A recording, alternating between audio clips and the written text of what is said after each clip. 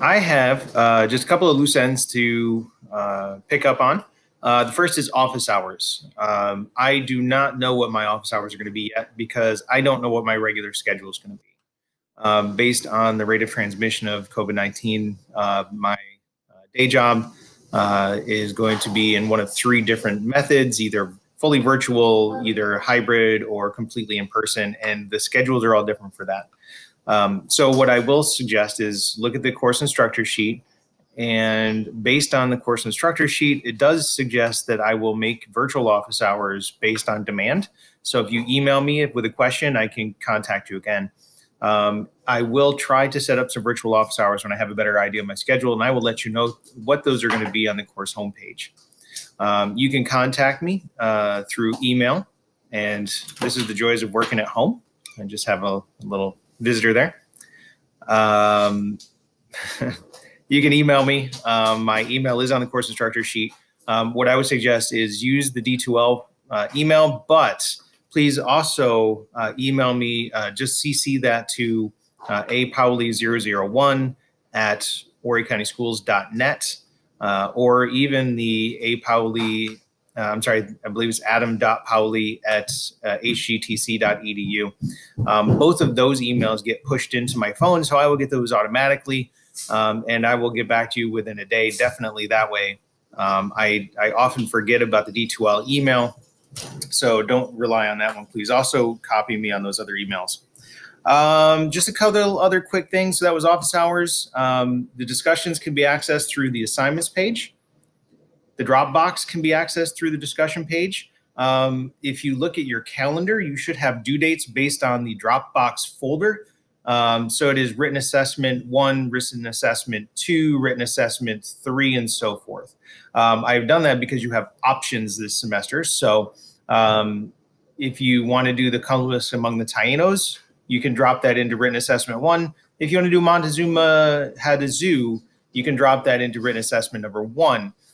If you look on the content page in week one in those written assessment options, both of those will have a link to this written assessment one you only do one of those optional assignments per week. Please do not do both. If you do both, I'm just going to pick one and give you the grade for that. Um, I'm not going to give you any extra credit or anything for that um, because you have one per week and those assignments match up pretty closely to the content for that week and the readings along with the dialectical journal entries. Okay, so we have discussions, drop boxes. The quizzes can be accessed through here, but they're also in the content section. Um, this is going to be good for you when it comes to those map quizzes. So if you go to the quizzes section, again, the map quizzes are open now and they won't close until the end of the week, or I'm sorry, the end of the semester. You do have exams. The exams will not open until the week that they are being taken. Um, so they will open on Sunday. They will close on the following Sunday. Um, so just be aware of that. Um, you cannot get into these yet. The last one is locked. You're going to have to do identification verification for that. Uh, again, I don't know exactly how that's going to work out right now. I will put more information on that on the course homepage. Um, you might need to go to the testing center. I'm waiting for confirmation on that. Otherwise, you'll show me your ID and I will give you the, the, um, the code for that. Uh, communications, there's email there. Other tools, attendance. I will keep track of your attendance. I'll put a, a in each week so you'll know what you're missing and what you're not. If you are at risk of being withdrawn from the course, I will try to send you an email, but please make sure that you are monitoring, monitoring your own attendance. If I make a mistake, please email me and let me know, and I will try to fix that.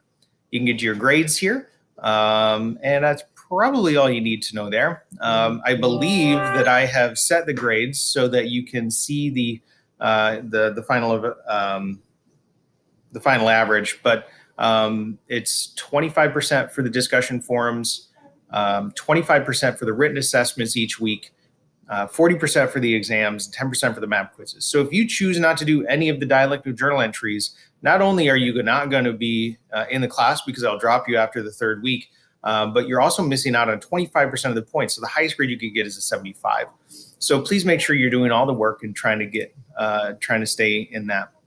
If you have any questions, email me, contact me, go to the uh, instructors page and uh, find out how to get a hold of me. Thank you for joining the class, and I am looking forward to a great semester. Thanks again.